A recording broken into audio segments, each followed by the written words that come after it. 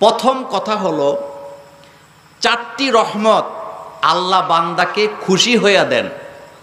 ওই বান্দাকে আল্লাহ এই চারটা রহমত দেন যেই বান্দাকে আল্লাহ ভালোবাসেন।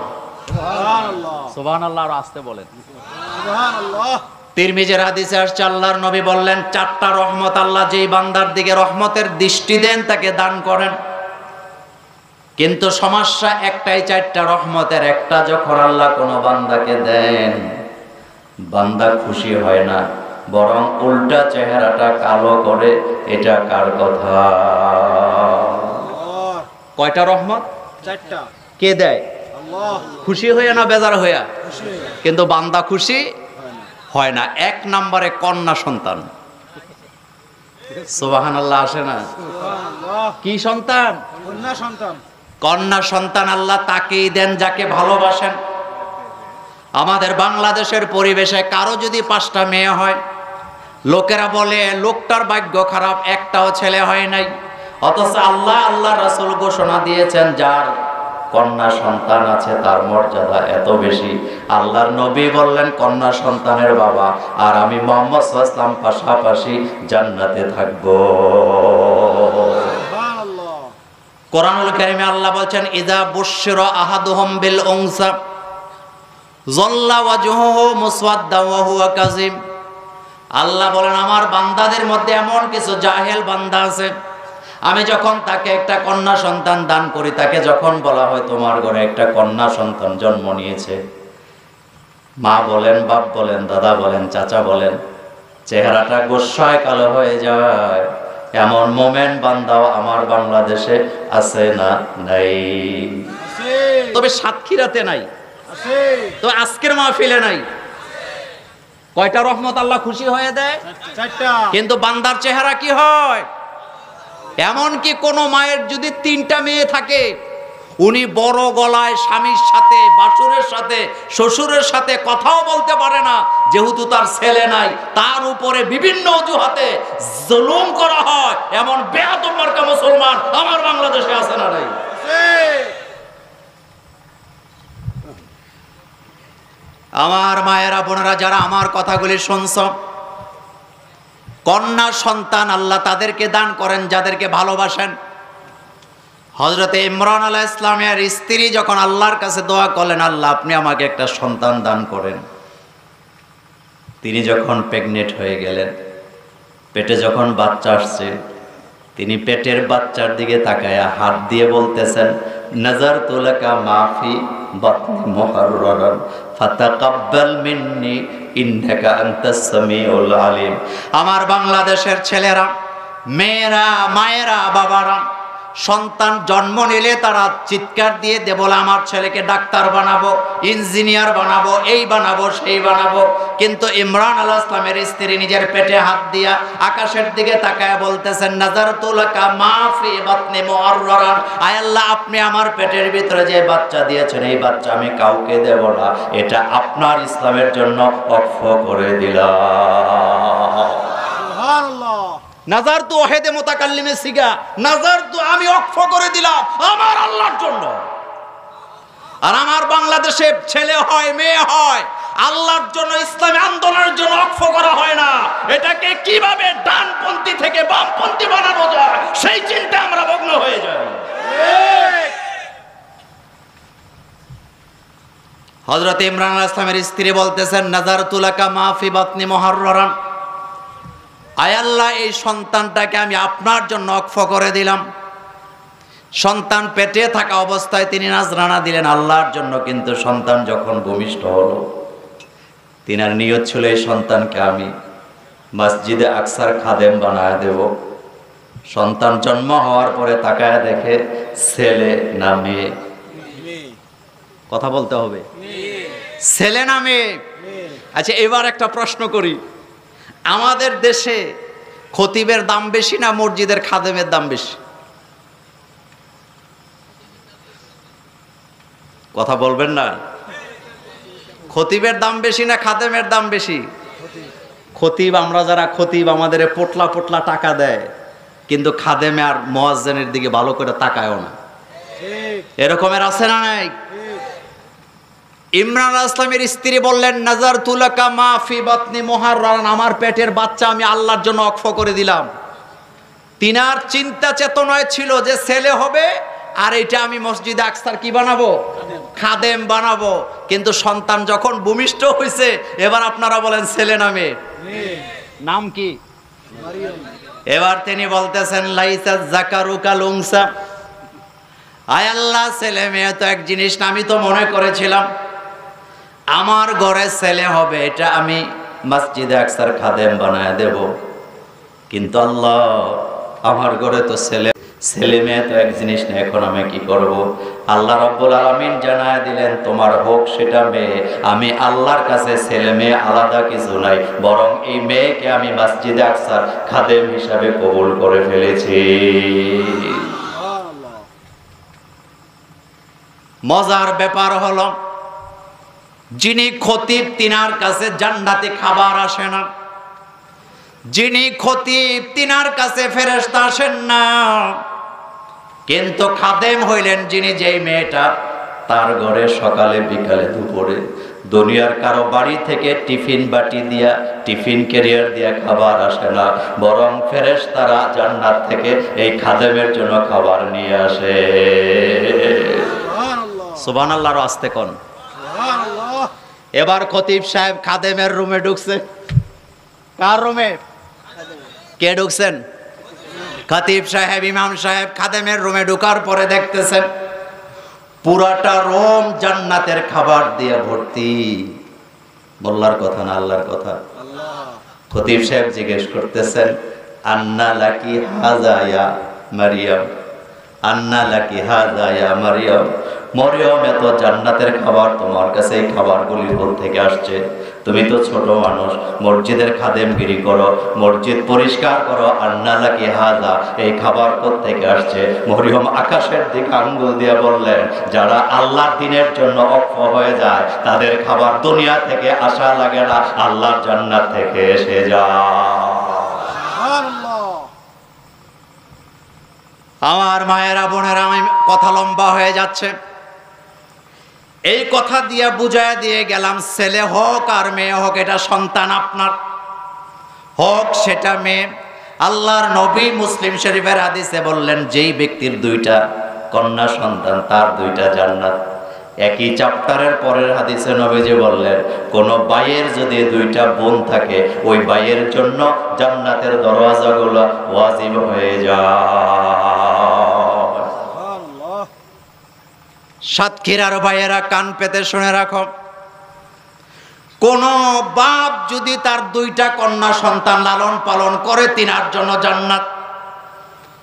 কিন্তু এমনও বাবা আছে, দুইটা কন্যা সন্তান রেখে মরে গেছে। ভাই বড়, ভাইটার উপরে দুইটা বোনের দায়িত্ব পড়ে গেছে। ইমাম মুসলিম একই হাদিস সেখানে টেনেছেন। আল্লাহর নবী বললেন, কোন ভাইয়ের যদি দুইটা বোন থাকে ওই বোনদের দায়িত্ব যদি ভাই পালন করে, ওই ভাইটার জন্য আল্লাহর জান্নাতের দরওয়াজা দরওয়াজাগুলি ওয়াজিব হয়ে যায়। বাপের জন্য যেমন জান্নাত, ভাইয়ের জন্য জান্নাত। আমার ভাইয়েরা সেদিকে গেলাম না, চারটা রহমতের কথা বলতে গেছিলাম। প্রথম রহমত আল্লাহ নিজে বললেন ইজা বুশরা আহাদুহুম বিল উনসা জাল্লা ওয়াজহু মুসওয়াদ্দা ওয়া হুয়া কাযিব। বান্দাকে যখন বলা হয় তোমার একটা কন্যা সন্তান হয়েছে চেহারাটা গোসায় কালো হয়ে যায়। অথচ আল্লাহর নবী বললেন কন্যা সন্তানের বাবা আর আমি মোহাম্মদ ইসলাম একই জান্নাতে পাশাপাশি থাকব। দুই নাম্বার রহমত বৃষ্টি। সোবান আল্লাহ কি? সবগুলার ব্যাখ্যা দেব না, আমি সময় পাবো না। বৃষ্টি, আল্লাহর রহমত। আমাদের সভাপতি সাহেব এই আয়াতটা সুরায় নাবা থেকে বলছেন, আমি কান পেতে শুনেছিলাম। আল্লাহ বলেন, আমি বৃষ্টি দিয়া তোমাদের জমিনকে উর্বর করে ফসল তৈরি করি। বৃষ্টি কোনো কায়দায়, কোনো ক্রমে আল্লাহর গজব হয় না, বৃষ্টি আল্লাহর রহমত। কিন্তু একাধারে বৃষ্টি হয়। দান শুকাইতে না পারলে আমার মায়েরা, বোনেরা আমার আল্লাহকে গালি দেয়, আল্লাহর আকাশকে গালি দেয়, এমন মহিলা সাতক্ষীরা নাই। তিন নাম্বার রহমত, মেহমান। সোবান আল্লাহ আরেকবার। কয়টা রহমত আল্লাহ খুশি হইয়া দেয়? কিন্তু বান্দা কি হয়? কথা জোরে বলে। তিন নম্বরে মেহমান। মেহমান দেখলে মুখ কালো হয়ে যায়। এমন মুসলমান আজকের মাহফিলে নাই। আমি ওই দিকে ব্যাখ্যা দিতে যাব না, আল্লাহর নবী ইবনে মাজায় বলেছেন, তোমার বাড়িতে যখন কোনো মেহমান আসে, মেহমান যখন তোমার বাড়ির সীমানার ভিতরে প্রবেশ করে, মেহমান খালি হাতে ঢুকে না। বরং রহমতের আর বরকতের বৃষ্টি নিয়ে ওই মেহমান তোমার বাড়িতে প্রবেশ করে সোহান কয়টা রহমত আল্লাহ খুশি হয়ে দেয়? যেদিন সকালবেলা আপনার বাড়িতে মেহমান আসবে আপনি বুঝতে পারবেন। আপনার বাড়িতে আল্লাহ রহমত পাঠায় দিছে বরকত পাঠায় দিছে। আল্লাহর নবীর একজন সাহাবা ছিলেন আল্লাহর নবীর স্বেচ্ছায় ওই সাহাবার বাড়িতে হাজির হয়েছিলেন। আল্লাহর নবীর সাহাবা তাকে দেখার পরে এমন খুশি হইলেন। নিজের বকরি জবে করতে গেলেন। ওই সাহাবা যেদিন মারা গেল, সত্তর হাজার ফেরেস্তা আকাশ থেকে ওই সাহাবার জানাজায় হাজির হয়ে গেছে। চার নাম্বার রহমত, অসুস্থতা। কয়টা রহমত আল্লাহ খুশি হয়ে দেয়?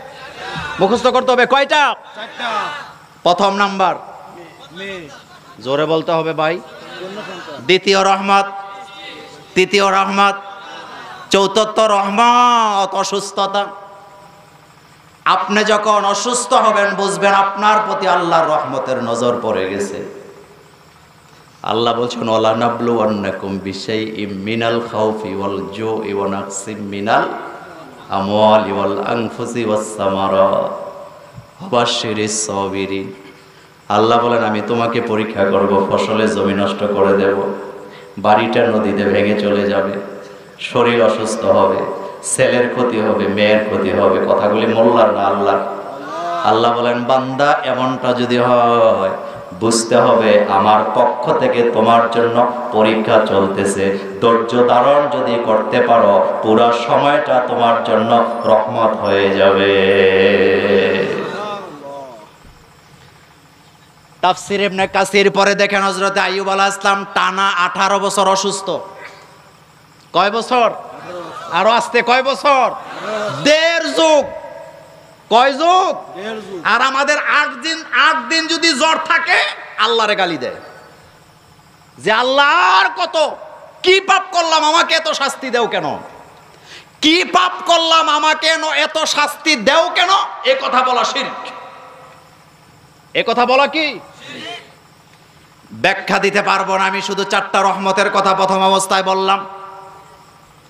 আইব আল ইসলাম টানা আঠারোটা বছর অসুস্থ। পুরা শরীর অকিজ হয়ে গেছে, তাফসির ইবনে কাসির পনেতা বলেন, দুইটা অঙ্গ ছাড়া পুরা শরীরটা অকিজ। কলিজাটা ভালো আছে জিব্বাটা ভালো আছে। আইব আল ইসলাম আকাশের দিকে তাকায় বলতেছে, আল্লাহ আঠারো বছর ধরে অসুস্থ কোনো অসুবিধাই হয় না। কারণ জিব্বা ভালো কলিজা ভালো তোমার জিকির এই দুনি জিনিস দিয়া চলে। সুবহানাল্লাহ। কয়টা অঙ্গ ভালো ছিল বলেন তো? কোনটা কোনটা? আর? এই দুইটা অঙ্গ ভালো ছিল।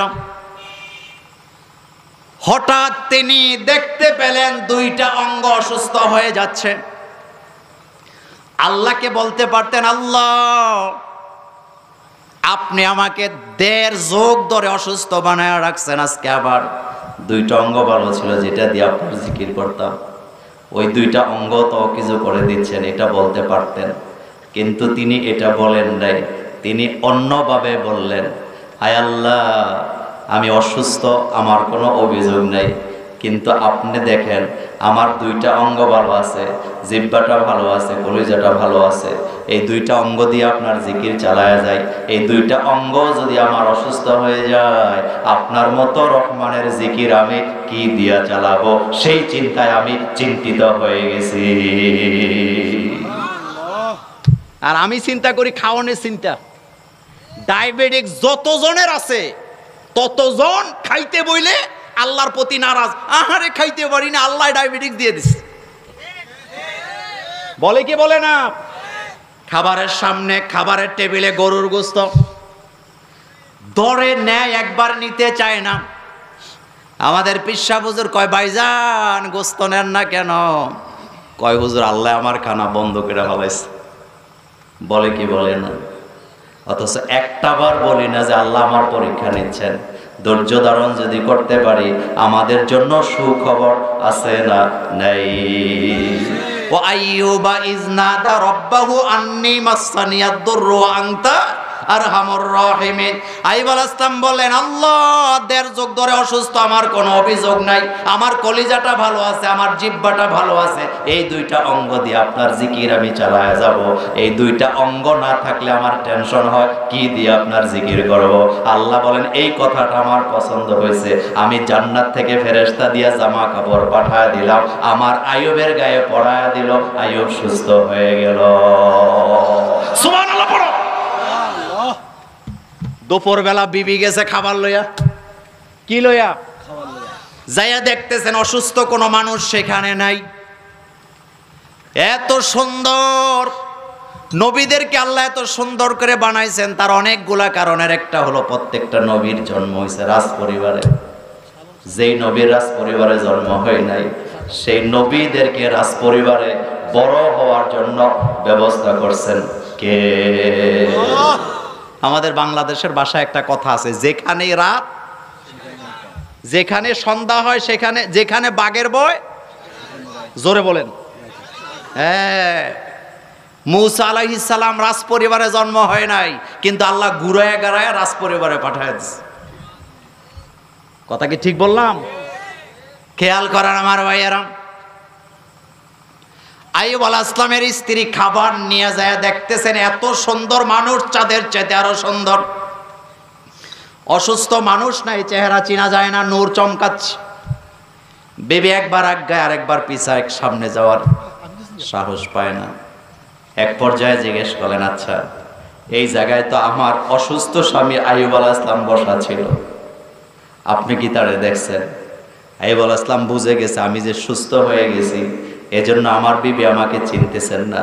তিনি হাসি দিয়া বললেন, আমি যদি বলি, আমি আপনার স্বামী আয়ুব, আপনি কি বিশ্বাস করবেন? এবার স্ত্রী হাসি দিয়া বললেন, কেন বিশ্বাস করব না? কারণ আমার স্বামী আয়ুব জীবনে কোনোদিন আমার সাথে মিথ্যা কথা বলে নাই। আর আমার বাংলাদেশের স্বামীরা স্ত্রীদের সাথে, স্ত্রীরা স্বামীদের সাথে কথায় কথায় মিথ্যা কথা আছে না নাই?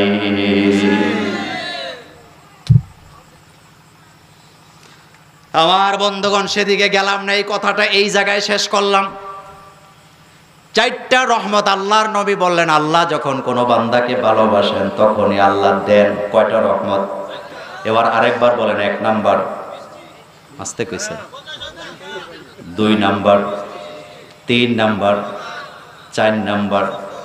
এই চারটা জিনিস যখনই পাবো, আলহামদুলিল্লাহ বলতে রাজি আছি না, নাই। আল্লাহ যেন কবুল করেন আমরা বলি আমি তাহলে বৃষ্টির প্রতি আর কোনো রাগ টাগ আসতে কইছে? আর কোনো রাগ আছে? আলহামদুলিল্লাহ। দুই নাম্বার পয়েন্ট আমার হাতে এটা কি? আরও আসতে কইছেন। এই কোরআনের ব্যাপারে আপনাদের কাছে প্রশ্ন। এই কোরআনটা বাংলাদেশের কোরআন। বাংলাদেশের ঢাকার চক বাজারে ছাপা হয়েছে বাংলাদেশের লোকেরা নিজেদের মতো করে লিখছে। এই কোরআনের সাথে মক্কার কোরআনের কোনো মিল নাই। আসতে কইছেন? আমার ভাইয়েরা, সকালবেলা ফজরের আজান হলো। যেই মসজিদে এক রাকাত নামাজ পড়লে এক লক্ষ রাকাতের সওয়াব পাওয়া যায়। আমি নিজে বাংলাদেশের কিছু বেয়াদব মার্কা হাজিকে দেখছি। জামাতের সাথে কাবা ঘরে নামাজ আদায় না করে, নিজের ঘরে নামাজ আদায় করে। তাদের চাইতে কপাল পরা হাজি আল্লাহর জমিনে একটাও নাই। ফজরের আজান হলো কাবার চত্বরে। লক্ষ লক্ষ মানুষ তাওয়াফ করতেছেন, একামত হচ্ছে, লোকেরা নামাজে দাঁড়ায় গেলেন। আব্দুর রহমান সুদাইসি সাহেব নামাজে তেলাওয়াত করবেন। আব্দুর রহমান সুদাইসি সাহেব এই কোরআন থেকে তেলাওয়াত করতেছেন। আবার আপনাদের সাতক্ষীরার শ্যামনগরের গরিব এলাকার গরিব এলাকার ছোট্ট একটা মসজিদ, যেই মসজিদের কোনো ছাদ নাই। ওখানেও ফজরের আজান হয়েছে। ইমাম সাহেব ফজরের কেরাত পড়তেছেন। আমি জানতে চাই কাবাগরের ইমামের তেলাওয়াতের কোরআন আর আপনার শ্যামনগরের ভাঙা মসজিদের তেলাওয়াতের কোরআন। এক কোরআন না দুই কোরআন? আরও জোরে বলতে হবে। এক কোরআন না দুই কোরআন? তাহলে এই দুই এক কোরআন হওয়ার পরেও কোরআন বুঝার ভিতরে পার্থক্য আছে না আমার ভাইয়েরা, বাংলাদেশের কোরআন আর মক্কার কোরআনের মধ্যে কোনো পার্থক্য নাই। বাংলাদেশের কোরআন আর ইন্ডিয়ার কোরআনের মধ্যে কোনো পার্থক্য নাই, কিন্তু বুঝার মধ্যে পার্থক্য আছে। এই কোরআন বুঝার কারণে কোন দল আছে, এই কোরআনের জন্য জীবন দিতে চায়। আবার কিছু মানুষ আছে কোরআন পড়ার পরে, কোরআন না বুঝার কারণে কোরআনের আইনের বিরুদ্ধে কথায় কথায় হুঙ্কার মানে এমন বুঝুন না লোক আছে না না।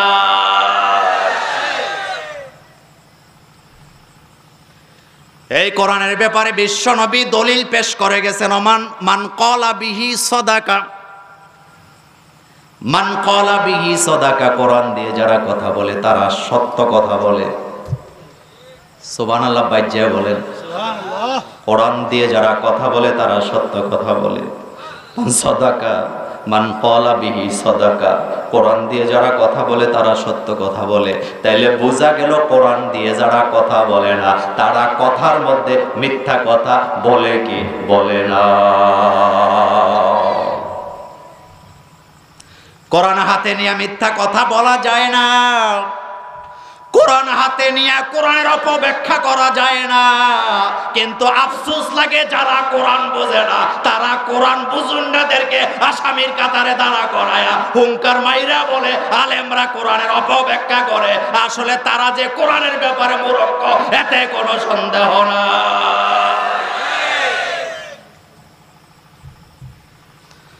আল্লাহর নবী দেড় হাজার বছর আগে বলে গেছেন, মান কলা বিহি সদাকা হাদিসের বর্ণা মুসলিমের হাদিস। কোরআন দিয়ে যারা কথা বলে, তারা সত্য কথা বলে। অমান হাকামা বিহি আদালা কোরআন দিয়ে যারা ফয়সালা করে, তারা ন্যায় বিচার করে। আমি যদি এখন ন্যায় বিচারের কথা বলি সাতক্ষীরার মানুষ আপনাদের মাথা চলে যাবে, আদালতের দিকে। আপনার মাথার ব্রেন চলে যাবে, ফৌজদারি দ্বন্দ্ববিধির দিকে। মাথা চলে যাবে সুপ্রিম কোর্ট আর হাইকোর্টের দিকে। অথচ আমার নিজের গড়ে কোরআনের ফয়সালা নাই। ছেলেদের জমি দিয়া, মেয়েদের ঠকায়া দেয় এমন মুসলমান আজকের মাহফিলে একজনও নাই। কোরআনের বিচারের কথা বললেই আমরা মনে করি, হাইকোর্ট সুপ্রিম কোর্টের বিচারের কথা বলতেছে না। কোরআনের বিচার শুরু হবে নিজের গড় থেকে। সুতরাং যারা জমি জামা বাক করার সময় ছেলেদেরকে দিয়া, মেয়েদেরকে মাহরুম করে, তারা আল্লাহর কোরআন দিয়া ফয়সালা করে নাই, তারা আল্লাহর কোরআনের সাথে বেইমানি করবে আপনারা কি আমার কথা রাগ করবেন? কষ্ট পাইবেন? আমি আগেই বলছি, আমি কিন্তু খুব সুস্থ না। কারণ আমি টানা বারো ঘণ্টা গাড়িতে ছিলাম। রাস্তায় এক জায়গায়ও নামি নেই। আমাকে আবার বারো ঘণ্টা জার্নি করে যেতে হবে। যেহেতু বৃষ্টি আসছে, একটু ছন্দপতন হয়েছে আমি কিছু কথা বলে যাব ইনশা এবার কথার জবাব দেন। নবীজি বললেন, অমান হাকামা বিহি আদালত কোরআন দিয়ে যারা ফয়সালা করে, তারা ন্যায় বিচার করে। যারা ফয়সালা করবেন, তারা কোরআন দিয়ে করবেন। কোন বাবার যদি দুইটা মেয়ে থাকে, একটা ছেলে থাকে, সম্পত্তি বরাবর দুই ভাগ হয়ে যাবে। এক ভাগ ছেলে পাবে, এক ভাগ আবার দুই ভাগ হবে। একটা মেয়ে পাবে, আরেকটা, আরেক মেয়ে পাবে। এখানে কোরআনের আইনে বিচার করা হয় না। এই বিচারে যদি আল্লাহ কেয়ামতে ধরে, তাইলে বাংলাদেশের লক্ষ লক্ষ বাপদেরকে জাহান নামে যাওয়া লাগবে। এতে কোনো সন্দেহ নাই। আপনাদের সাতক্ষীরার আইন কানুন আমি জানি না। আমি আমার ঢাকার কথা, কুমিল্লার কথা যদি বলি, আল্লাহ বলতেছেন, তোমরা যখন বিচার করবা, সামনে কোরআন নিয়ে বসে, কোরআন দিয়ে বিচার করবা। আর আমার গ্রামে গঞ্জে বিচার হয়, বিচারকরা কোরআন পড়তেও জানে না।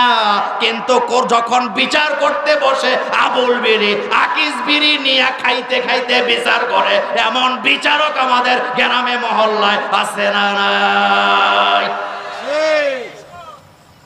আপনাদের এলাকায় নাই? আল্লাহ বললেন, আল্লাহর নবী বলেন, ওমান হাকামা বিহি আদালা। কোরআন দিয়ে বিচার করো। কোরআন নিয়ে বিচার করো। কিন্তু আমাদের গ্রামে গঞ্জে মেল হয়, দরবার হয়, বিচার হয়।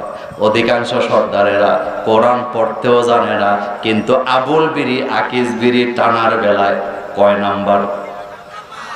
আসতে কইছে এখন অনেকে মনে মনে বলবেন হুজুর বিড়ি খাওয়া হালাল না হারাম? আমি বলি নাই আমি জিজ্ঞেস করতেছি। বিড়ি খাওয়া হালাল না হারাম? হারাম। সবাই কয় না। বিড়ি খাওয়া হালাল না হারাম? হারাম। একটু আওয়াজটা বাড়ছে। তবে কেউ কেউ এখনও চুপ করে আস আচ্ছা যাক হালাল হারাম বাদ। বিড়ি খাওয়া উচিত না অনুচিত? বিড়ি খাওয়া উচিত না, এটার পক্ষে কে কে আছেন হাত তোলেন? একটু দেখবেন আপনারা কে হাত তোলে নাই। হাত নামান হাত নামান। বিড়ি খাওয়া, এটা ভালো কাজ না খারাপ কাজ? আচ্ছা পৃথিবীতে যত নবীর আগমন ঘটছে, কয়জন নবী বিড়ি খাইছে? হ্যাঁ? আমাদের পিসা হুজুরে আপনারা চিনেন তো? আসতে কয়। হুজুর যদি মাঝে মধ্যে একটু পরে পরে মঞ্চে বইয়া একটা কইরা গুল্লিপ সিগারেট ধরাইতো। আপনারা হুজুরের পিসাব মানতেন? আরও আসতে কন। বরং প্রত্যেকটা লোক একজনের কানে আরেকজনে ওনার বিরুদ্ধে বলতেন। আর আমার দেশে এই আইন নাই। আমি ভুটান সফরে গেছিলাম। এখানে কেউ গেছেন কিনা জানি না। ভুটান হলো একটা বদ্দিশ রাষ্ট্র। তাদের নাইনটি এইট পার্সেন্ট লোক বদ্দিশ ওই দেশটার ধর্মীয় দিকের যত খরচপাতি সব দেয় চীন, আর রাস্তাঘাটগুলি করে আমাদের পার্শ্ববর্তী দেশ ভারত। আমাদের দেশে তাদের ছেলেরা লেখাপড়া করতে আসে। ভুটানে দুইটা জিনিস আমি আশ্চর্য হইছি। একটা হলো ভুটানে প্রকাশ্যে কোনো ধূমপান আপনি করতে পারবেন না। যে ড্রাইভার আমাকে নিয়ে ঘুরলেন, ড্রাইভারকে আমি, তার নাম ছিল সিরিং। আমি তাকে জিজ্ঞেস করেছিলাম যে, তোমাদের দেশে কি ধূমপান হয়? হাসি দিয়া বললেন, স্যার, হয়, তবে প্রকাশ্যে হয় না। আমি আশ্চর্য হয়ে গেলাম। একটা বদ্দিশ রাষ্ট্র, প্রকাশ্যে ধূমপান নাই, যতদিন থাকলাম, এত, তাদের সব জায়গায় ঘুরলাম, কোথাও একটা লোককে বিড়ি খাইতে দেখলাম না। আর আমার দেশে, আপনারা মাইন্ড করেন না, আমার দেশে দাড়িওয়ালা মানুষ টুপি মাথায় দিয়া মুদি দোকানের সামনে যখন সিগারেট টানে, আমাদের কলিজায় তখন আঘাত লাগে। দুই নাম্বার, ভুটানের আরেকটা জিনিস আমি আশ্চর্য হলো গাছ কাটা যাবে না। পৃথিবীতে একমাত্র সংবিধানে তাদের আর্টিকেল আছে যে তাদের দেশে গাছ কাটা এটা মৃত্যুদণ্ড। কেউ যদি সরকারের অনুমতি ছাড়া অথবা গাছ মরার আগে কাটে তার মৃত্যুদণ্ড হবে আর আমার দেশের জীবিত গাছ বয়স হওয়ার আগে বেচ্চা বনের রাজারা রাজা হয়ে যায় আমার বন্ধুগণ কোরআনের ব্যাপারে আমার আর্টি দুই নাম্বার পয়েন্ট আমি কোরআনের উপরে কথা বলছিলাম। আল্লাহর নবী বললেন, অমান হাকামা বিহি আদালা। কোরআন দিয়ে যারা ফয়সালা করে, তারা নেই বিচার করে। আমার দেশের বাপেরা বাড়িটা ছেলেদেরকে দিয়ে দেয়, ভালো জমি জামাগুলি ছেলেদেরকে দিয়ে দেয়। আল্লাহরে ফাঁকি দেওয়ার জন্য, নিজের মেয়েকে ফাঁকি দেওয়ার জন্য বিলের মাঝখানে যেই জায়গার জমিন পাঁচ হাজার টাকাও শতক বিক্রি হয় না। ওইগুলা বোনদেরকে দিয়া ঠকায় দেয়। এমন ভাই, এমন বাপ আমাদের বাংলাদেশে আছে না নাই। মাওলানা আশরাফ আলী থানবী রহিমাহুল্লাহ, তিনি বলেছেন, মায়ের হাতের চুলা, চুলাতে মাথা থাকে কয়টা? কথা বলে না সাতক্ষীরার মানুষ। কয়টা? তিনটা মাথা থাকে। আশরাফ আলী থানবী রাহিমাহুল্লাহ বলে গেছেন, মায়ের হাতের তৈরি করা চুলা যার মাথা থাকে তিনটা, এখান থেকে যদি বোন একটা দাবি করে, এটাও দিতে হবে, এটাও দেওয়া ওয়াজিব। আর আমরা তো ঘর দেই না, বাড়ি দেই না, ভালো জমি দেই না, বোনদেরকে দেয় সবচেয়ে কম দামি জমিগুলো। আমি কি কথা ঠিক বলতেছি? আমি কি কথা ঠিক বলতেছি? এমনও ভাই আছেন ভাইয়ের সাথে ২০ বছর কথা নাই। ওই ওয়াজ আজকে করব না। কিন্তু আমি আলেমদেরকে সাক্ষী রেখে বলে যাই কাতে রেহেম যারা উনি যদি কাবার ইমাম হয় পৃথিবীর শ্রেষ্ঠ বক্তা হয় পৃথিবীর বড় পীর হয় কিন্তু রক্তের সম্পর্ক যদি ছিন্ন করে আল্লাহর নবী ফতুয়া দিয়ে গেছেন ওই লোকটা আল্লাহর জান্নাতে যেতে পারবে না। মুসে তেল দিতেছেন আপনি পিসা?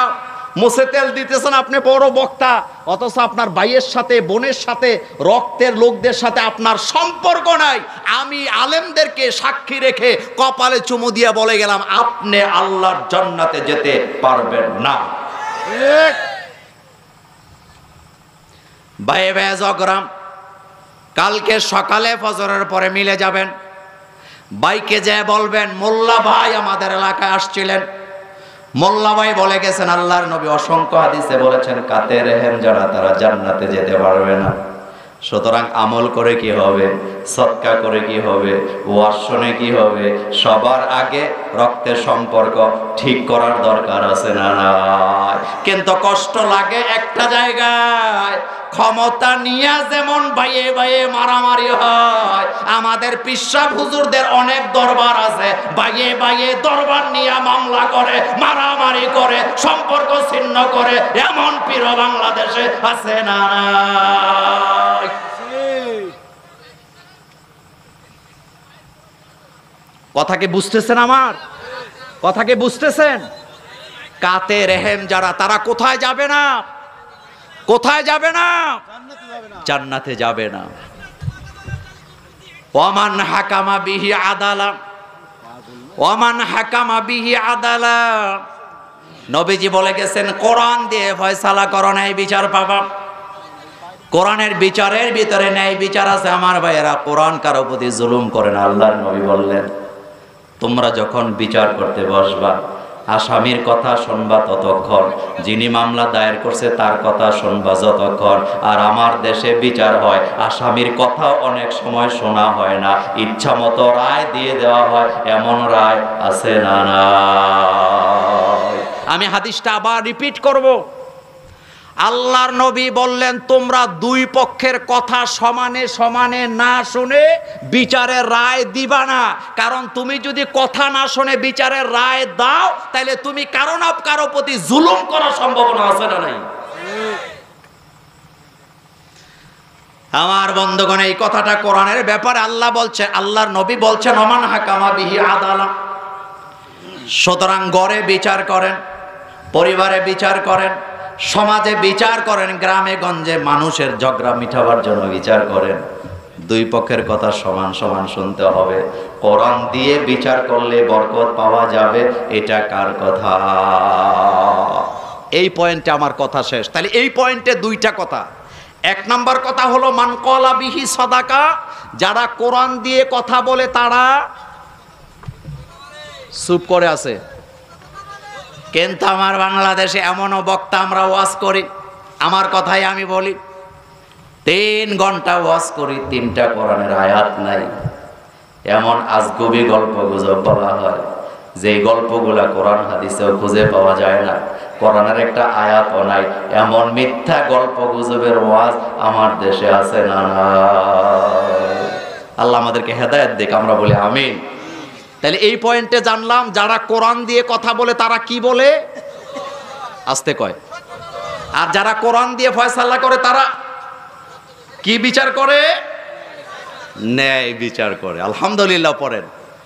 এবার তিন নাম্বার পয়েন্ট আমার আলোচনা। আমি আজকে সুরাতুল মুদাসির থেকে পাঁচটা আয়াত থেকে আমি কথা বলব, যদ্দূর যাওয়া যায়। আমি বেশি রাত পর্যন্ত ওয়াজ করব না এই কারণে। কারণ আমার ওয়াজের কারণে কেউ যদি ফজর কাজা করেন, তাহলে আসামি কে হবে? এই এলাকার প্রশাসনের বাইদেরকে আমি কপালে চুই দিয়েছেন। আর আল্লাহ শুক্রিয়া করি যে আল্লাহ আমাদেরকে বৃষ্টিটা থামায় দিয়া মাহফিলটা করার মতো তাওফিক দিয়েছেন। তবে ভবিষ্যতে যদি সুযোগ পাই, দেখা হবে আজকেই পাঁচটা আয়াতের উপরে কিছু কথা বলে আমরা এখান থেকে বিদায় হব। ইনশা লা ইলমা লানা ইল্লা মা আল্লামতানা। আমাদের কাছে কোনো জ্ঞান নাই। আমরা জ্ঞান পাই কার কাছ থেকে? তাহলে একটু সবাই বলেন, রব্বি, জিদনি, ইলমা। আল্লাহ আমাদেরকে কি দাও? সুরাতুল মুদ্দাসির আমি ব্যাখ্যা দিতে চাই না, কথা কিছু বলা লাগবে আমার ভাইয়েরা। বিসমিল্লাহির রহমানির রহিম। ইয়া আইয়ুহাল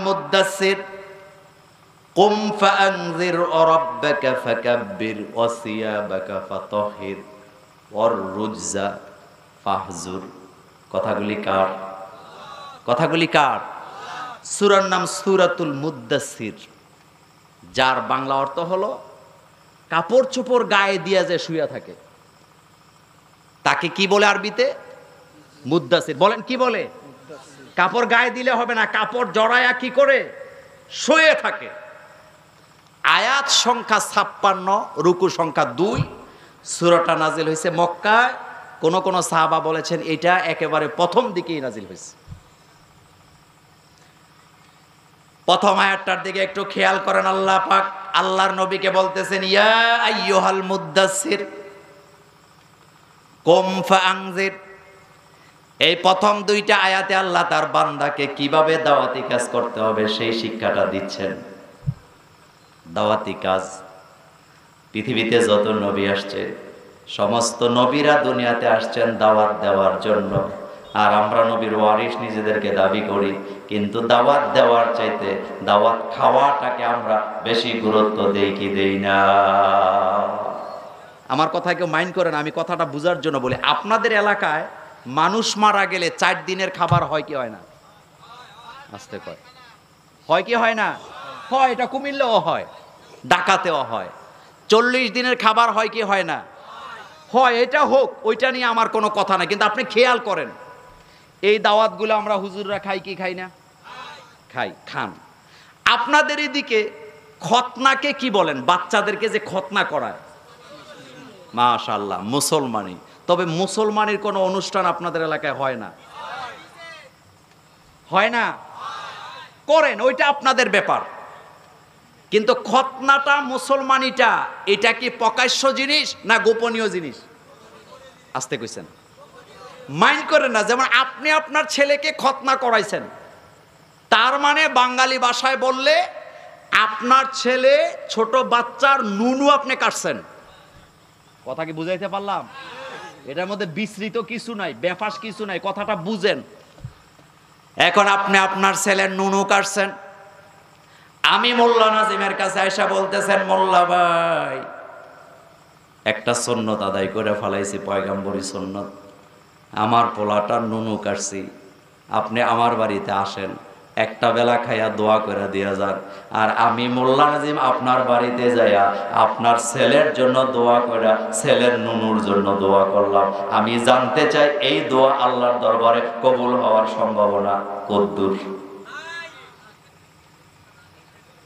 মানে আমি আপনাকে দাওয়াত দিতেছি, ভাইজান, আমার ছেলের ওই জিনিসটা কাটছি, আপনি আইয়েন, একটু দোয়া করে দিয়া যান। তা আপনি দোয়া করবেন। কি করবেন আল্লাহ? উমকের ছেলের হুম হুম হুম।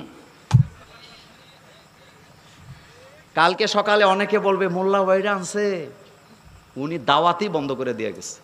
আমি কিন্তু দাওয়াত বন্ধ করতে আসিনি, আমি দাওয়াত চালু করতে আসছি। আমি বুঝাইতে চাইলাম পৃথিবীতে নবীরা শুধু দাওয়াত খাইতে আসেন নাই, দাওয়াত দিতে আসছেন। হাদিয়া দিবেন, হাদিয়া দেওয়া সুন্নত। আল্লাহ নবী তো বলে গেছেন, তাহাদ্দু, তাহাব্বু। বলেন, হাদিসটা কি? তাহাদ্দু, তাহাব্বু, হাদিয়া দেও, ভালোবাসা বাড়াও। কথাটা বলতে হবে। বলেন, তাহাদ্দু, তাহাব্বু, হাদিয়া দেও, ভালোবাসা বাড়াও। হাদিয়া দিবেন। কিন্তু আল্লাহর নবীকে আল্লাহ এখানে কি বলতেছেন শোনেন, ইয়া ও কাপড় চোপড় জড়ায়া ঘুমাই নেওয়ালা জিনিস হয়ে আছেন, তাকে বলতেছে, তিনি দুনিয়ার শ্রেষ্ঠ মহামানব। এত বড় মর্যাদা আল্লাহ তাকে দান করলেন। অরফা আনা এলাকা জিকরাক তাফসির ইবনে কাসির পনেতা বলেন, অরফানা লাকা যিকরাকের মানে হলো, দুনিয়ার আখেরাতে আল্লাহর নবীকে আল্লাহ এত মর্যাদা দিয়েছেন, এত মর্যাদা আল্লাহ আর কাউকে দেন নাই দিবেন না। আমার ভাইয়েরা, বুখারির হাদিস আসছে। কেয়ামতের ময়দানে আল্লাহর নবী জান্নাতের দরজায় যাইয়া দেখতে পাবেন, জান্নাতের দরজা ভিতর থেকে তালা লাগানো। দুইটা করা ধরে আল্লাহর নবী এইভাবে করে নাড়া দিবেন। ভিতর থেকে ফেরেশ তারা প্রশ্ন করবেন, মান আনতা, আপনি কে? জান্নাতের দরজার করা নাড়তেছেন আপনি কে? আল্লাহর নবী বলবেন, আনা মোহাম্মদুর রাসূলুল্লাহ সাল্লাল্লাহু আলাইহি ওয়াসাল্লাম। কথাটা বলতে দেরি হবে। ফেরেস তারা জান্নাতের দরওয়াজাটা খুলে দিবে। ফেরেশতারা জান্নাতের দরজাটা খুলে দিয়া বলবে, ইয়া রাসূলুল্লাহ ওয়াসাল্লাম,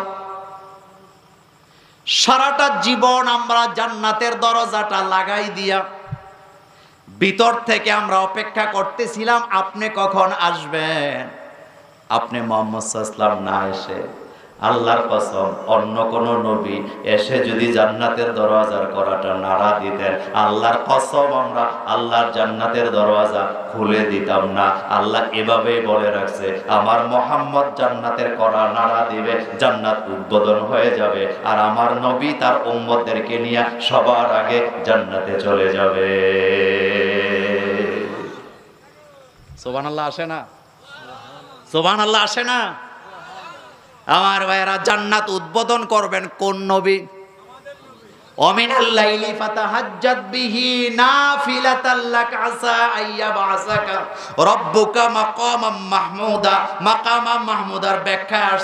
আল্লাহ আমাদেরকে জানায় দিলেন, আমি আমার নবীকে এমন মর্যাদা দিয়েছি কেমতের ময়দানে জান্নাত উদ্বোধন হবে না, আমার নবীকে ছাড়া বিচার শুরু হবে না, আমার নবী মোহাম্মদের সুপারিশ ছাড়া। আর সেই নবীরে বাদ দিয়া, বিড়ি খাওয়াই না, গাঁজা খাওয়াই না, মানুষের আদর্শ মানে এমন মানুষ আছে, না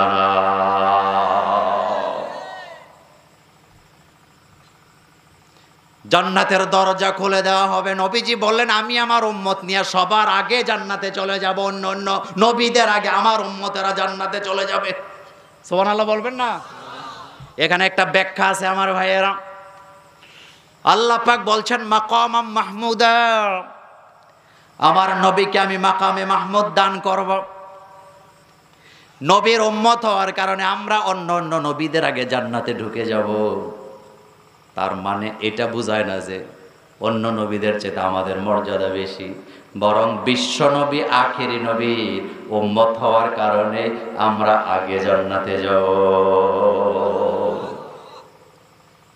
সেই নবীকে আল্লাহ বলতেছেন, ইয়া আইয়ুহাল মুদ্দাসির এবার আপনাদের কাছে একটা কথা জানব। আপনাদের এলাকায় যিনি কাপড় ব্যবসা করেন, তাকে কি ব্যবসায়ী বলা হয়? কথা বলতে হবে। কাপড় ব্যবসায়ী। আপনাদের এলাকায় যিনি আম ব্যবসা করে, তাকে কি বলা হয়? আপনাদের এলাকায় ব্যান চালায়, যিনি তারে কি কন? আপনি কিন্তু তার নাম জানেন না। আপনার বাড়ি শ্যামনগরে, ওনার বাড়ি কালীগঞ্জে। কালীগঞ্জ আছে না আপনি নাম জানেন না বলে রাস্তায় যখন কোনো ব্যান চালককে দেখতেছেন, আপনি ডাকতেছেন, ওই ব্যান, এদিকে আয়। কিন্তু আপনারা সাতক্ষীরার মানুষ বুদ্ধি। আমি জানতে চাই লোকটার নাম কি ব্যান গাড়ি? কিন্তু আপনি তাকে কি বলতেছেন? ও ব্যান, এদিকে আয়। কিন্তু আপনি যে ব্যান বলতেছেন, লোকটা জীবনে একদিনও রাগ করে না। হাসি মুখে আসে আপনাকে ব্যানে উঠায় নিয়ে যায়। আমার বন্ধুগণ, আল্লাহর নবীর নাম বোধ আল্লাহ জানে না। কথা আসতে কয়?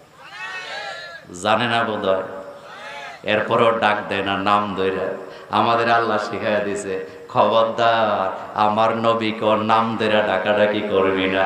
আমার বন্ধুগণ গুরুত্বপূর্ণ কথা বলে দিয়ে যাই আপনি যদি পিসা বুজুরের সাথে বেয়াদবি করেন, ক্ষমা চাইলে ক্ষমা পাবেন। আপনি যদি আপনার বাবার সাথে বেয়াদবি করেন, ক্ষমা চাইলে ক্ষমা পাবেন। আপনি যদি আল্লাহর সাথে নাফরমানি করেন, ক্ষমা চাইলে ক্ষমা পাবেন। কিন্তু আল্লাহ জানায় দিছে আন্তাহাবাদা আমালুকুম, আমার নবীর সাথে বেয়াদবি করা যাবে না। যদি বেয়াদবি করো, তাওবা করার সুযোগ দেওয়া হবে না। বেয়াদবি করার সাথে সাথে তোর আমল নামা আমি আল্লাহ বরবাদ করে দেব।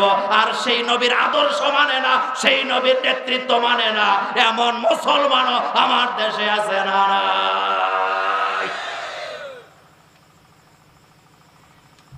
নবীকে সব দিক থেকে মানতে হবে। টুপিটা নবীর পড়লাম দাড়িটা নবীর ব্যবহার করলাম। পাঞ্জাবিটা নবীর মতো পড়লাম। কিন্তু নিজের পরিবার, নিজের সমাজ, নিজের রাষ্ট্র, আল্লাহর নবীর মতো চালাইলাম না। আপনি ঠান্ডা মাথায় জবাব দেন, আল্লাহ বোধহয় আপনাকে ধরবে না। আস্তে কয়। আরও আস্তে কন। আল্লাহ বলতেছেন আফাতু মিনুনা বিবাদিল কিতাব অতাক ফুরুনা বিবাদ। আল্লাহ বললেন, কোরআনের কিছু মানবা কিছু মানবা না, হবে না রে বান্দা। কেমতের দিন আমি তোরে ধরব। যদি দুনিয়াতে কোরআনের কিছু আয়াত মানো, কিছু না মানো, আমি দুনিয়াতে তোমাকে লাঞ্ছিত, অপমানিত করব আর কেয়ামতের ময়দানে আমি আল্লাহ তোমাকে ধাক্কায়া জাহার নামে ফালা দিব। তাইলে বোঝা গেল জন্ম থেকে মৃত্যু পর্যন্ত কথা মানতে হবে কা চিল্লে বলতে হবে কার? সে আল্লাহর আইন মানতে রাজি আছি না নাই? দুই হাত উঁচু করে আমার আল্লাহকে দেখা দাও। মিছিল দিতে হবে না। কথা শোনেন। মিছিল এই, থামেন। থামেন, আগে কথা মিছিল দিতে বলছি। এবার খেয়াল করেন, নবীর নাম আল্লাহ জানে না।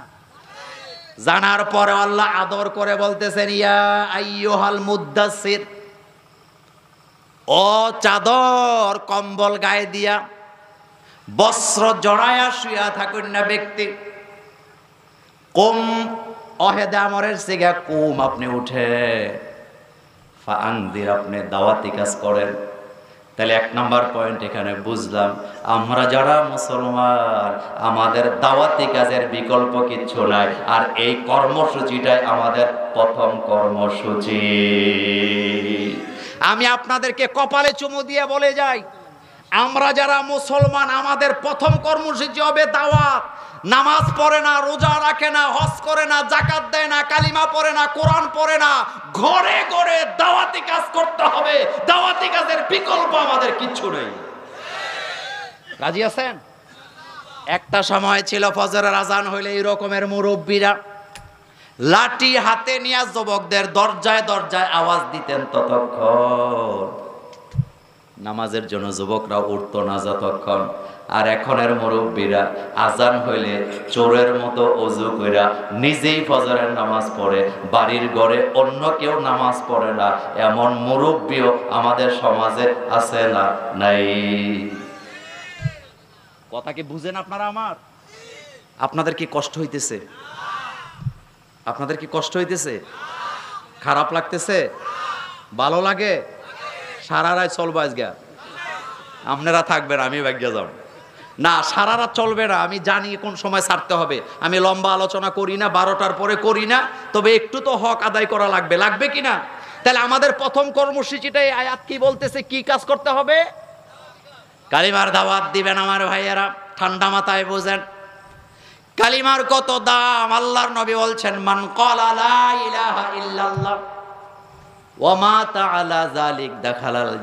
আমাদের কালিমার কত মর্যাদা? পৃথিবীতে একটাই কালিমা আছে, আমার ভাইয়েরা। এটা যারা পড়বে, এটার উপরে যারা মারা যাবে, আল্লাহর নবী কি বলতেছেন খেয়াল করেন? আল্লাহর নবী বললেন, মান লা ইলাহা ইল্লাল্লাহ ওয়া মাতা আলা যালিক দাখালাল জান্নাহ। যেই লোকটা বলবে, লা ইলাহা ইল্লাল্লাহ, এই কথার উপরে মারা যাবে, লোকটা মরতে দেরি, আল্লাহর জান্নাতে যেতে দেরি না মাজির সিগা ব্যবহার করলেন যারা আরবি গ্রামার পড়ছেন। নবীজি বললেন, মান কলা ইল্লাল্লাহ জালিক যে ব্যক্তি বলল ইলাহা ইল্লাল্লাহ এই কথার উপরে মারা গেল, দেখালাল জান্নাহ, লোকটা আল্লাহর জান্নাতে চলে গেল। আমার দাদা মারা যায়, আমার মা মারা যায়, আমার বাপ মারা যায়। কালিমা নিয়া মরুক, এই সময়টা আমি আমার বাপকে, মাকে দেই না। নবীজি বললেন, লাক্কিনু মাউতা কুমলা ইলাহা ইল্লাল্লাহ। মমর্ষ ব্যক্তির পাশে বস, সে যখন মারা যায় তার পাশে কালিমার তালকিন দাও। আর আমরা মুরব্বী মারা যায়। আশি বছরের বুড়া মারা যায়, একশো দশ বছরের মুরব্বী মারা যায়, কালিমার তালকিন দেওয়ার টাইম নাই, বরং এটারে অ্যাম্বুলেন্সে তুললে আইসিইউতে ঢুকায়। সাত দিন আইসিইউতে একা একা মারা যায়। কালিমা নিয়ে মরতে পারে না, এমন কপাল পরা মুসলমান আমাদের সমাজে আছে না। খেয়াল করেন, আল্লাহর নবী বললেন, লাক্কিনু মাউতাকুম লা ইলাহা ইল্লাল্লাহ। কোন ব্যক্তি যখন মারা যাইতে লাগে, তার পাশে বসো, তাকে কিসের তালকিন দাও? কথা জোরে বলতে হবে। কালিমার তালকিন দাও ইল্লাল্লাহ মোহাম্মদুর সাল্লাম কিন্তু আমরা সেটা দেই না আমার ভাইয়েরা, বরং আমার পিসা বুজুর মোমর্ষ অবস্থায় আছেন, তিনার পাশে বসে আমাকে কালিমার তালকিন দেওয়ার কথা। না দিয়া অ্যাম্বুলেন্স ফোন কইরা ওনারা আইসিইউতে ঢুকায়, ছেলেরে ঢুকতে দেয় না, মেয়েরে ঢুকতে দেয় না আলে মোলামারে ঢুকতে দেয় না। উনি সেখানে ইমান নিয়ে মারা গেছে না, ইমান হারায় মরছে, আমরা জানতেও পারলাম না। তাইলে আমরা আসল জায়গায় যে নাই, এতে কোনো সন্দেহ নাই। এবার বুঝেন, হসপিটালের আইসিইউতে যারা মারা যায়, তাদের লস হইল তিনটা। কয়টা? কথা বলতে হবে। কয়টা? এক নাম্বার লস, তিনি মরেও যাবেন, মেরেও যাবেন। ব্যাখ্যা দেব না। মরে যাবেন মানে তিনি তো মারা গেলেন, মেরে যাবেন মানে আমার বাইরে একটা লোক যদি এক মাস যাবৎ আইসিইউতে থাকে, লাইফ সাপোর্টে থাকে, লক্ষ লক্ষ টাকা বিল উঠবে। হসপিটাল কর্তৃপক্ষ ওই লাশটাকে ফেরত দিবে না ততক্ষণ। হসপিটালের বিল আদায় করবেন না যতক্ষণ। তাহলে এক নাম্বার লস হইল উনি মরে গেলেন। জমি বেচা টাকা দিবেন না যতক্ষণ। হসপিটাল থেকে ওনার লাশটাও ফেরত পাবেন না ততক্ষণ। কথাকে বুঝাইতে পারলাম? দুই নাম্বার লস। কালিমানিয়া গেল কিনা জানতে পারলাম না। অথচ নবীজি বলছেন, যেই ব্যক্তির শেষ কথা হবে কালিমালা আমার বাপকে আইসিউতে না নিয়া আমি যদি আমার বাপকে কালিমা সহ মৃত্যু দিতে পারতাম, কালিমার এত পাওয়ার আমার ভাইয়েরা, এই কালিমা নিয়ে মরার কারণে মরার সাথে সাথে জান্নাতে চলে যেতেন। তাইলে এই জান্নাতে যাওয়ার গ্যারান্টি থেকে আমি আমার মাকে, বাপকে মাহরুম করলাম কি করলাম না? কয়টা গেছে? তিন নাম্বার লস, নবীজি বললেন, মোমর্ষ ব্যক্তির পাশে বস, সুরাতুল ইয়াসিন তেলাওয়াত করো। কোন সুরা? সাতক্ষীরার বাইরে একটু বলেন, কোন সুরা? নবীজি বললেন, সুরা ইয়াসিন পাঠ করো। মুমূর্ষ ব্যক্তির পাশে। আর আমার দেশে এখন সুরা ইয়াসিন পড়ে না। দাদা মারা যাইতেছে, নাতি আইছে চট্টগ্রাম থেকে ঢাকার থেকে বিমানে গইরা। এবার খুলনা দিয়া সাতক্ষীরা আইসা, দাদার সাথে হসপিটালে কালিমার তালকিন নাই বরং ছবি তুলতাছে, ভিডিও করতেছে। এমন কপাল পরা নাতি, নাতনি আমার দেশে আছে না। বাপ মরতেছে, দাদা মরতেছে, দাদি মরতেছে, খালাম্মা মরতেছে, ওরা সেলফি তুলতেছে। স্মৃতি রাখতেছে। দাঁত ভেটকায় মারা যাইতেছে অথচ সুরাইয়াসিন পরে না। তাইলে লস কয়টা গেল? আমার ভাইরা কালিমার এত দাম। নবীজিকে আল্লাহ বলছেন কুমফা আংজির আপনাকে ঘুমিয়ে থাকার জন্য দুনিয়াতে দায়িত্ব দিয়া পাঠাই নাই। আপনার কাজ হবে ফাংজির আপনি দাওয়াত দিবেন, মানুষকে সতর্ক করবেন। কিন্তু দাওয়াত দিতে যাইয়া মারামারি লাগানো যাবে না, এটা কার কথা? মাইন্ড করে না, আমাদের দেশে কিছু বক্তা আছে, ওয়াজ কইরা যায়, ওই এলাকায় ছয় মাস, আর এলাকার লোকের এলাকায় ঘুমাইতে পারে না। এরকমের ওয়াজ নাই। চুপ করে আছেন কেন? এই রকমের দাওয়াত। হজরতে মুসা আলাইহিস সালাম প্রতিষ্ঠিত গভর্নমেন্ট ফেরাউনের বিরুদ্ধে দাওয়াত নিয়ে রওনা দিছেন। আল্লাহ বলছেন, ফাইন্নাহু তগা। সে তগা হয়ে গেছে, আপনি তার কাছে দাওয়াত নিয়ে যান। মুসা আলাহিসাল্লাম ইসলাম হাতের লাঠি নিয়ে রওনা দিছে। লাঠির পাওয়ার কম না বেশি? আল্লাহ বলে দিলেন, কুলা লাহু কাউলাল লাইয়েনা। ও মুসা, তুমি যখন তোমার ভাই হারুনকে নিয়ে ফেরাউনের সামনে দাওয়াত দিতে যাবা, খবরদার ঝগড়া লাগায়ও না, মারামারি লাগায়ও না দাওয়াত দিবা, তবে মিষ্টি মিষ্টি ভাষায় দাওয়াত দিবা। মুসাল ইসলামকে আল্লাহ মিষ্টি ভাষায় দাওয়াত দিলে লাভ কি? আল্লাহ বলেন, লাভ হলো দুইটা। একটা হলো হকটা যখন সে শুনবে, ভয় পেয়ে যাবে। দ্বিতীয়, লাভ হলো হতে পারে তোমার কথা সে মানবে। বড় ফেরাউন কি কালিমা পড়ে নাই? সাতক্ষীরার বাইরে একটু কথা বলতে হবে। ফেরাউন কি কালিমা পড়ে নাই? কালিমা পড়ে নাই? আসতে কয়। কালিমা পড়ে নাই? আল্লাহ আস্তাক ফিরুল্লাহ কালিমা পড়ে নাই? আমাং তো আন্নাহু আমাং তো অহেদে মোতাকাল্লিমে সিগা, আমি ইমান আনলাম। আন্নাহু লা ইলাহা আমানাত বানু সাহেবারা, আপনি যেই কালিমার জিকির করেন একই কালিমার জিকির কিন্তু সারা জীবন কালিমার বিরোধিতা করার কারণে পানিতে সুবায়া সুবায়া মাইরে দিলেন কে? এই যে বললেন, কালিমা পড়ে না কালিমা তো পড়ছে। শুধু পড়ে না নাই, কীভাবে পড়ছে দেখেন? আমরা তো বলতেছি লা ইলাহা ইল্লাল্লাহ, এতটুকুন বলি। কিন্তু ফেরাউন কি বলতেছে? আমান্ত আন্নাহু লা ইলাহা ইল্লাল্লাযী আমানাত বিহি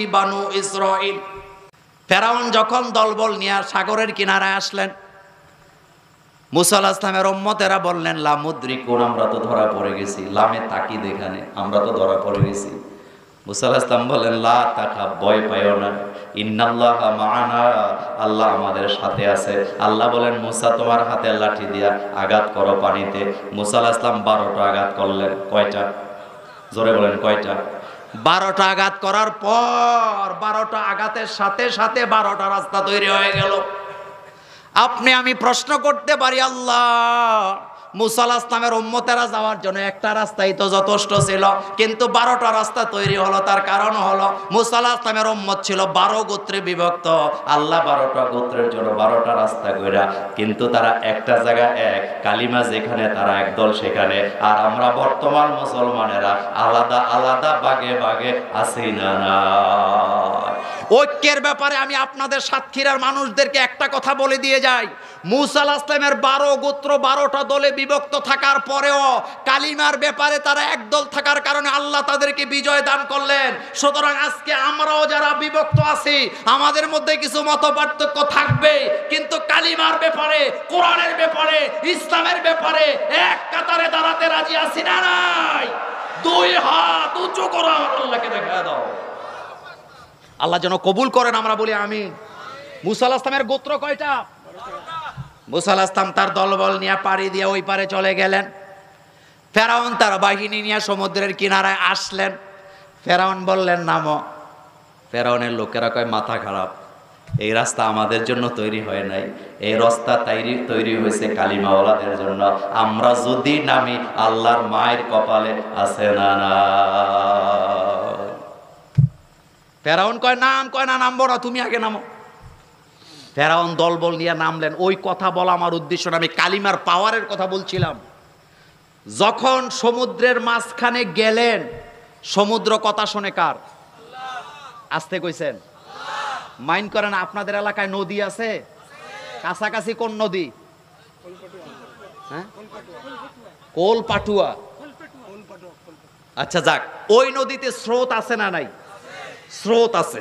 স্রোতটা বাটির দিকে যাচ্ছে। সাতক্ষীরার যত জনগণ আছেন, পুলিশ সহ, বিজিবি সহ, সবাই যাইয়া লাঠি সোটা লইয়া যদি নদীরে বলেন নদী, আল্লাহর আইন মানো, তুমি বাটির দিকে যাচ্ছ, এখন আমরা আসছি সাতক্ষীরার জনগণ, পুলিশ বাহিনী নিয়ে, প্রশাসন নিয়ে, আমাদের আয়, তুমি উল্টা দিকে যাও। নদী বোধহয় উল্টা দিকে রওনা দিবে। কথা আসতে বলেন কেন? নদী কোন দিকে যাবে? রুসুলিনা। আমার ভাইয়েরা, ফেরাউন যখন নদীর মাঝখানে আল্লাহ নদীকে বন্ধ হয়ে যাও। বিবানি বাহার। সমুদ্রের মধ্যে ফেরাউন আটকা পড়ে গেলেন। প্রথম একটা ঢেউয়ের সাথে সাথে ফেরাউনের লস্কর বাহিনী শেষ। এরপরের ঢেউগুলোতে ফেরাউন একবার চুবানি খায়, আবার উপরে ওঠে। এবার ফেরাউন চিন্তা করলেন, ওই লোকগুলা কালিমা পড়ার কারণে যদি বাঁচতে পারে, তাইলে আমি ফেরাউনও কালিমা পড়লে আমিও বাঁচতে পারব। এবার সে নির্দিষ্ট করে বলতেছেন আমান তো আন্নাহু লা ইলাহা ইল্লাল্লাযী আমানাত বিহি বানু ইসরাইল বনি ইসরায়েলের লোকেরা, ওই লোকগুলা বাচ্চা গেছে যেই কালিমা পড়া আমিও যোগ দিলাম সেই কালিমার দলে। আল্লাহ, আমি মুসলমান, আমারে বাঁচায় দাও। আল্লাহ বাঁচানোর বদলা তারে জনমের মতো দৃষ্টান্ত করে রেখে দিলেন কি দেন না খেয়াল করেন। ফেরাউন বলতেছে আমান তো আন্নাহু লা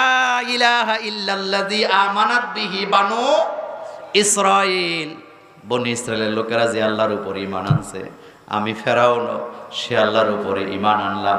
ও আনা মিনাল মুসলিমিন, আমি তো মুসলমান আল্লাহ, চুবাও কেন? এর জবাবে আল্লাহ একটা কথাই বললেন আল আন কি বললেন? বলতে হবে শব্দটা, কি বললেন? আল আন বলেন, কি বললেন? এখন! আল আন এখন! এই কথাটা কেয়ামতে আল্লাহ আমাদেরকেও বলবেন। আমরা যেদিন ধরা পড়ে যাব সেদিন আমরা বলব, রব্বানা, আবসরনা না ফারজিনা নামাল সলিহান আয় আল্লাহ, এখন তো নিজের চোখে আজাব দেখলাম, ধরা পড়ে গেলাম। আয় আল্লাহ আমারে বাসায়া দাও। এবার যদি দুনিয়াতে যেতে পারি, সুদ খামো না ঘোষ খামো না, দুর্নীতি করব না, দেশের টাকা বিদেশে পাচার করব না, ন্যায় বিচার কর্ম, দুধে পানি মিশাবো না। আয় আল্লাহ, এবার যদি যেতে পারি, পরের হক নষ্ট করব না। এবার যদি যেতে পারি, মিথ্যা কথা বলব না, খাদ্যে বেজাল দেব না। হাজার রকমের উপমা দিয়ে দিয়ে আমরা বলব, আল্লাহ, আরেকটা বার দুনিয়াতে পাঠায়া দাও। আমার আল্লাহ সেদিন কথা একটাই বলবেন আওয়ালাম আম্মির কুম আমি কি তোমার বয়স দেই নাই? বয়স পাইয়া, হায়াত পাইয়া। আমার সাথে কত চালাকি করছ? আবার যদি পাঠাই কত চালাকি করবা, সেটা আমার আল্লাহর ইলমে জানা আছে না না তাকদিরের হাদিসগুলো যদি পড়েন, আশ্চর্য হয়ে যাবেন। মনে পড়ছে, বলে দেই, তাকদির এমন এক জিনিস, আমি আপনি সারা দিন ভর যা কিছু করি না কেন দিন শেষে তাই হবে, তাকদিরে যা। কথা বুঝাইতে পারি নাই? দিন শেষে তাই হবে, তাকদিরে যা আছে, এর বাইরে কিচ্ছু হবে না। ওই ওয়াজ আজকে করব না, তাকদিরের ব্যাপার। তাকদির এমন একটা জিনিস, একটা লোক সহি মুসলিমের হাদিসে আসছে, তাকদির এমন একটা জিনিস, একটা লোক সারা জীবন ভালো কাজ করতে করতে জান্নাত থেকে মাত্র এক বিগত দূরে আছে। এই যে আমার হুজুর আমার থেকে কয় বিগত দূরে? এক বিগত দূরে, কিন্তু তাকদিরে তার জান্নাত নাই। এমন কাজ করে ফেলবে এই লোকটা। এই এক বিগত জান্নাতের কাছাকাছি যাওয়ার পরেও জাহান্নামে যাওয়া লাগবে, এই লোকটা জান্নাতে যেতে পারবে না। আমাদের দেশে মান্নত করি আমরা, করি কিনা ছেলেটা পরীক্ষা দিছে, মনে মনে বলতেছে, আল্লাহ, ছেলেটা যদি এ প্লাস পায় এলাকার গরিব করে একটা ছাগল জব করে খাওয়ামো তোমার নামে এই মান্যতের দ্বারা আপনার ছেলে এ প্লাস পাওয়ার কোনো সম্ভাবনা নাই। তাকদিরে যেটা আছে সেটাই পাবে। সাহবাই কারাম বললেন, হুজুর, তাইলে আমরা মান্যত করি কেন? আল্লাহ রাবুল আলমিনের হাবিব বললেন, মান্যতের দ্বারা বকিলদের কাছ থেকে আল্লাহ কিছু মাল খসাইয়া গরিবদের পকেটে ঢুকায়া দেয় সোবান আল্লাহ বাইজিয়ে কইল কথা কি বুঝে আসছে? মান্যতের দ্বারা বকিলের পকেট থেকে মাল নিয়ে আল্লাহ কার পকেটে দেয়? কথা কনা কার পকেট? হ্যাঁ। আমার বন্ধুগণ, খেয়াল করেন, ফেরাউন্নার দশা যা কেমতের ময়দানে আমাদের দশা হবে, তা যদি ইসলাম না মানেন, বলবে, রব্বানা আবসরনা অসামিআনা ফারজিনা নামাল সলিহান ইন্না মুকিনুন আল্লাহ। এখন তো বুঝলাম, এখন তো দেখলাম, ধরা পড়ে গেলাম একটা বার দুনিয়াতে পাঠান এবার দুনিয়াতে পাঠাইলে আমাদের পিসা বুজুর যেমনি নামাজের কথা কয়, আমরা সেভাবে নামাজ আদায় করব। আমাদের বক্তারা যেভাবে কোরআনের আইনের কথা বলে, সেভাবে মানব। আল্লাহ বলবেন, আওয়ালাম নো আম্মির কম আমি কি বয়স দেই নাই? আজকে দশা একই দশা। তোমরা জাহান নামে যাও জাহান নামের আজাব সারা কপালে কিচ্ছু নাই। আল্লাহ তিরস্কার করে বলবেন ফাজুকু ফালান নাজিদাকুম ইল্লা আযাবা, আমার আযাব কত মজা মজা খায়া দেখো। আল্লাহুম্মা আজিরিনা মিনান নার, বলেন আল্লাহুম্মা।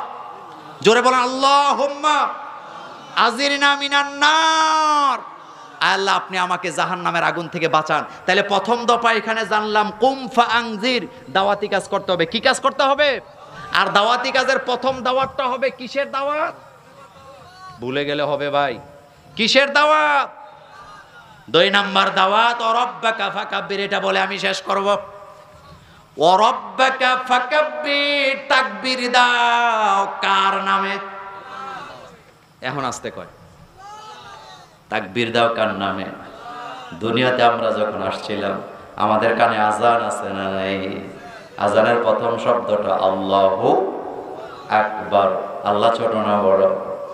দৈনিক পাঁচবার বাংলাদেশের সাত লক্ষ মসজিদ থেকে দৈনিক পাঁচবার করে, পঁয়ত্রিশ লক্ষ বার আজানের দনি যাদের কানে যাওয়ার পরেও নামাজে যেতে পারে না, আল্লাহরে সেজদা দিতে পারে না, তাদের মতো কপাল পড়া মুসলমান আল্লাহর জমিনে আর নেই। কথা বুঝাইতে পারি নাই? সেজদা দিতে হবে কাকে? আরও জোরে বলেন কাকে? আল্লাহ বলছেন অরব্বাকা দ্বিতীয় কর্মসূচি আল্লাহ দিলেন অরব্বাকা তোমার রবের বরত্ব, তোমার রবের বরত্ব, তোমার রবের, বলেন, তোমার রবের বরত্ব প্রকাশ করো, উচ্চারণ করো, জোরে জোরে তাকবির দাও, আর আমরা তাকবিরটাও দিতে জানি না, এমন মানুষ আছে না দুনিয়াতে আসার পরে তাকবির আমার কানে দেওয়া হয়েছে। কেন দেওয়া হয়েছে আমার ভাইয়েরা? আপনি আপনার আত্মীয়র বাড়িতে গেছেন দাওয়াত খাইতে, যাইয়া দেখছেন টেবিলের ভিতরে পঞ্চাশ রকমের খাবার। কয় রকম? এই পঞ্চাশ রকমের খাবারের মধ্যে উনপঞ্চাশ রকমের খাবার সুস্বাদু, মজা, একটা প্রকার হইল কাঁচা পেঁয়াজ।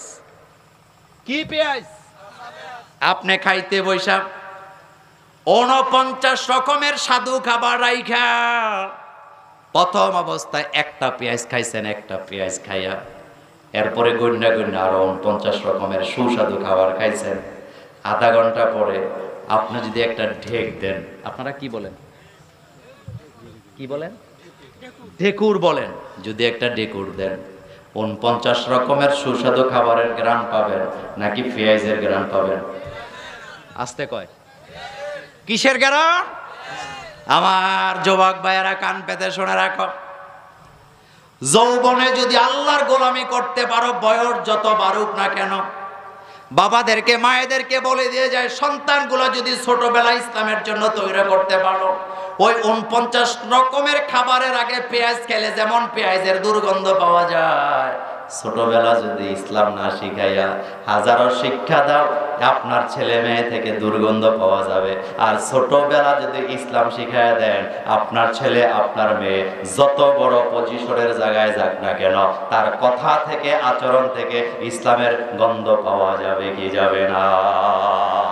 যাবে কি না? আপনি ছোটবেলা আপনার ছেলেরে শিখাইয়া দিছেন, খাবার শুরু করবা কার নামে? কথা আসতে কর। এই ছেলেটা যদি ইউরোপের এমন কোন দেশ যেখানে ইসলামের কোনো বালাই নাই, পঞ্চাশ বছরও যদি থাকে, খাবার খাওয়ার আগে বিসমিল্লা বলতে ভুলে যাবে না। কথা কি ঠিক বললাম? আপনি ছোটবেলা যদি আপনার ছেলেকে, মেয়েকে সালাম শিখাইতে পারেন, এটা যত বড় অফিসার হোক, যত বড় প্রফেসর হোক, সালাম দিতে ভুলে যাবে এই কথাটা আল্লাহ নবীকে বলছেন, অরব্বাকা ফাকাব্বির হে হাবিব, আপনি আপনার রবের নামে তাকবীরদের বরত্ব প্রকাশ করেন। এই জন্য যখন আমরা আজান দিই, তখন আল্লাহ একবার বলি।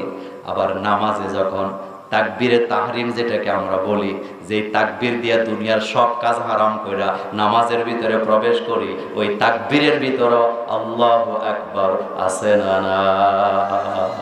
আল্লাহ আকবার। বলেন তো আল্লাহ, জোরে বলেন আল্লাহ একটা সময় ছিল মুরব্বীরা মাইক ছাড়া আজান দিলে তিন কিলো দূর থেকে শোনা যাইতো। আর এখন মাইক দিয়ে আজান দিয়ে দেড় কিলো দূরের থেকে শোনা যায় না। এরকমের আছে না নাই? আছে, সুতরাং আমাদের কাজ হবে, তাকবীর চলবে, ধ্বনি চলবে, আওয়াজ চলবে। আল্লাহ এই কথাটা বলে শেষ করে দিই আমার ভাইয়েরা।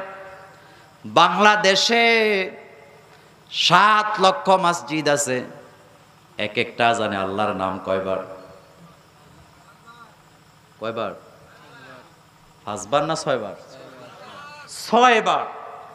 তাইলে মসজিদ আছে সাত লাখ। প্রথম একটা আজান, অর্থাৎ একবার আজান দিলে ছয় সাতা বেয়াল্লিশ লক্ষ বার আল্লাহ একবার শব্দটা আছে না ঠিক নবীর নামও সেম এক একটা আজানে আমরা নবীর আমরা যখন আজান দেই, সাত লক্ষ মসজিদে আল্লাহর নবীর নাম নেওয়া হয়। আমার ভাইয়েরা পঁয়ত্রিশ লক্ষ বার তাহলে আল্লাহর জিকির সব জায়গায় আছে না নাই? আছে। হজরত ওমর রদিল্লাহ আনহু যখন ইসলাম গ্রহণ করলেন, তিনি বলেন হুজুর, আমি আল্লাহর নামে একটা তাকবীর দিতে চাই। কি দিতে চাই? একটু বলেন তো, লিল্লাহি তাকবীর এত আসতে বললে হবে, লিল্লাহি তাকবীর এই তাকবীর দিতে চাই। যাও যাও যাও, দাও। তাকবীর চলতেছে কাবার চত্বরে। আবু জহিল আবুল আব উদ্বা সাহেবা মুগিরারা দৌড়ায় আসছে। আইসাকে এখানে তাকবীর কার নামে হয়? আমরা থাকতে লাত মানা থাকতে তাকবীর হবে কেন? তাকবীরটা আল্লাহর নামে হবে কেন? সহ্য করতে পারে নাই। কাছাকাছি যখন গেছে, যাওয়ার পরে দেখে মিছিলের নেতৃত্বে কে? আরও আসতে কোন। এখন বয় কপালে আছে না নাই? যারা লালন পালন করলাম, সে আমাদের বিরুদ্ধে তাকবীর দেয়। এই তাকবীরের এত পাওয়ার এই তাকবীরের এত পাওয়ার হজরতে শাহজালাল ইয়ামানি রাহিমাহুল্লাহ, তিনি যখন বাংলাদেশে এসছিলেন, তখনকার সময় গৌর গোবিন্দর প্রাসাদগুলা আজানের ধ্বনিতে ভেঙে ভেঙে পড়ে মাটির সাথে মিশে গেছে, আজও মাটির সাথে মিশে আছে। সোবান আল্লাহ আসে না? সেই তাকবীরের ধ্বনি আমাদের কলিজে আছে না নাই? জোরে বলতে হবে, আছে না নাই? তাহলে প্রথম নাম্বারের দাওয়াত কি হবে? লা ইলাহা মোহাম্মাদুর। দ্বিতীয় কাজ হবে কার বরত্ব? প্রশংসা হবে কার? আল্লাহ যেন আমাদেরকে বুঝার তৌফিক দান করেন, আমরা বলি আমিন। আমার ভাইয়েরা, প্রচণ্ড গরম, আকাশটাও ভালো না, আমাকে অনেক দূরে যেতে হবে। আপনারা সাতক্ষীরার মানুষের সাথে আমার একটা কলিজার সম্পর্ক আছে। সুতরাং ভবিষ্যতে যদি সুযোগ পাই শীতকালীন সময়, অন্য কোনো মাঠে, অন্য কোনো বিষয় নিয়ে আপনাদের সাথে ইনশাআল্লাহ দেখা হবে।